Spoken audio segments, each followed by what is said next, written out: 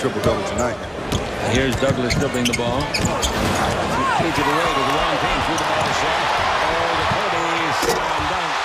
A windmill slam dunk. Again, nice unselfish play of air, but he notices Kobe coming. He says, Kobe, give him a show. Kobe says, well, you know me. I'm all about show the World Champion Lakers Basketball Network.